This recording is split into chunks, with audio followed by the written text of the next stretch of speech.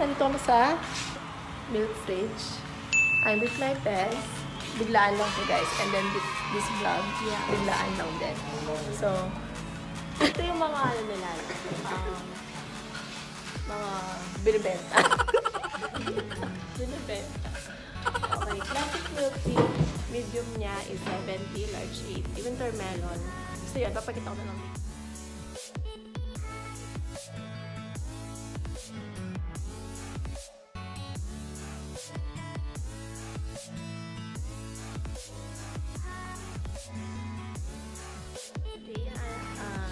aalamin natin ano bang pinagkaiba ng milk fridge sa ibang milk tea. Like yung last na review natin, yung Chew and Brew.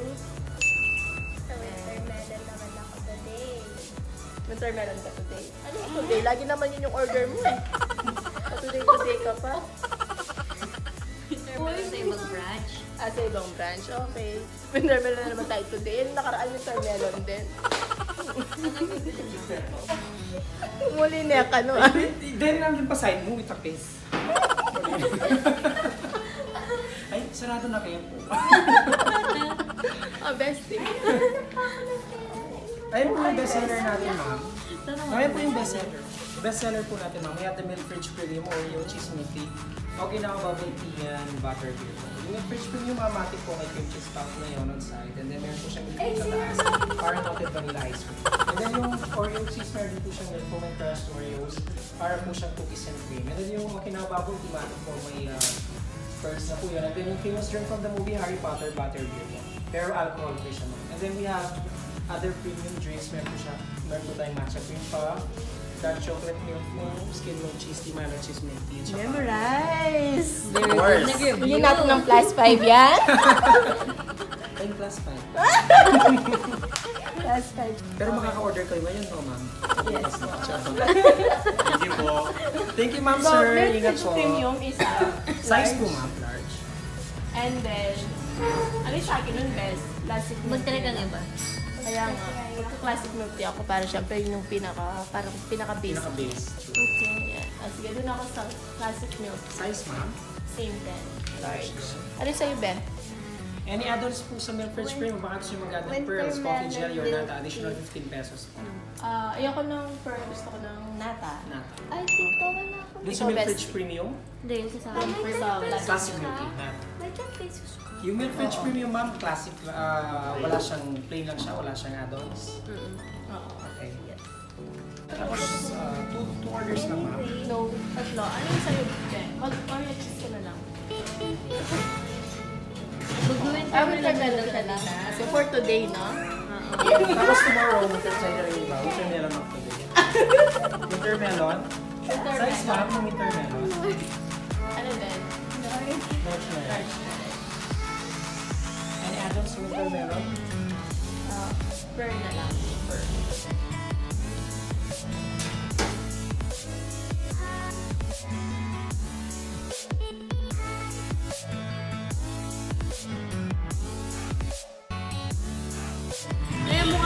Sa salamin guys. Baka may mukha. Para tayo mga ano. Sorry, sorry.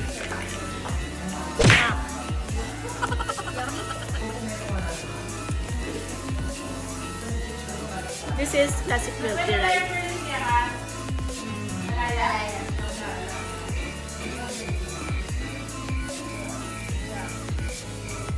Siguro gusto ko sa classic milk tea nila.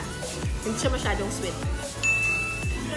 Tapos mas nangingibabaw yung lasa ng milk niya. Naubusan lang daw sila sugar.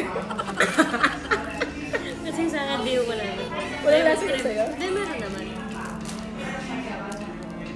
So yun, hindi siya masyadong matamis. Malalasahan mo una yung tea niya. Yung talagang tsaa. Tapos after nun, malalasahan mo yung milk. So it's a milk tea. Tapos sugar tea.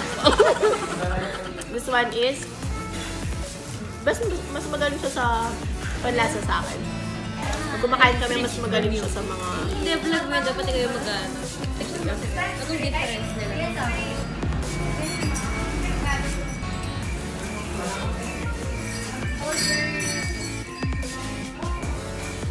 Pwede yung kay Meltic man. Ako ako. Anong ito? Premium? Yan. Yung premium, yun nga, parang sila yung lasa nila. Siguro ang pinagkaiba lang nito, meron siyang cream cheese. Yan. Yun lang. Kasi pares lang na lasa, pares mataba. Hindi, pares na... Ano, pares na hindi siya masyadong matamis. And then, this one is winter melon. Ang winter melon kasi siya lagi yung ino-order. No? Kasi sa kahit na anong milk teahan or milk tea shop. So, try natin itong winter melon.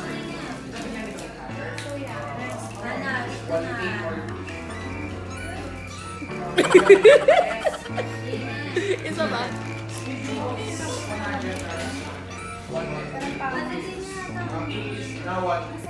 Kaya ayoko lang toilet. Lumilikot sa ngipin. Shake mo. Turn mo. Lasa na namili siya. niyan eh. Milk tea. Usad mo winter melon. Eh, mas gusto ko yung mga ganyan eh, yung nata. Yung sad ka. Yung winter melon nila parehas daw. Grabe sila. Ah, winter melon mas mas malasa yung tea.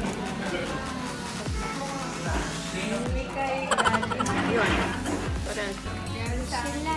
Ulitin ko daw yung sa premium. Kasi shake na ni Bess. Hindi kayo maglokohan. Parehas lang. so ayan, yun yung lasa ng milk page. Kasi namin milk page siya, akala ko, nakala ko parang siyang shake. So parang parehas. It's okay. Hindi masyadong sweet. So, ah, mas maganda i-try nyo pa rin para ano, mas alam mas alam nyo i-judge.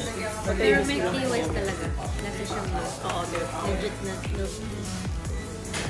So, yan. Thank you for watching. Ah? Thank you for watching.